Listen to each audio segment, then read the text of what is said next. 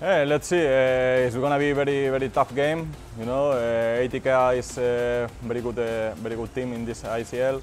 So for us, it's uh, very important to, to win. But of course, it's gonna be special because uh, all the players will want to play against the best teams, and ATK is uh, one of the best.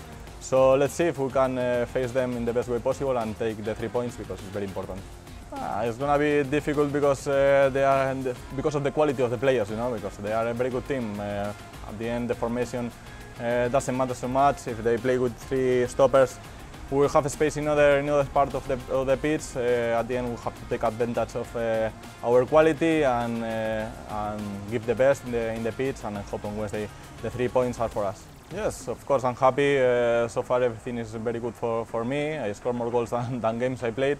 So it's, it's okay, but most important is to, to help the team. I think I helped the team uh, getting, getting points, especially in the two victories, very important for, for all of us. And I hope to keep going with these uh, statistics, and most important is always to, to get points and to be at the top at the end of the season.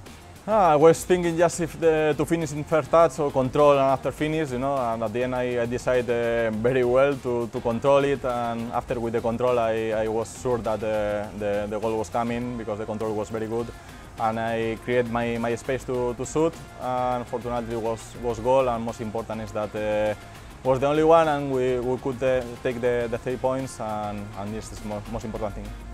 Ah, what I say always, uh, for us they are very very important, their support is always important.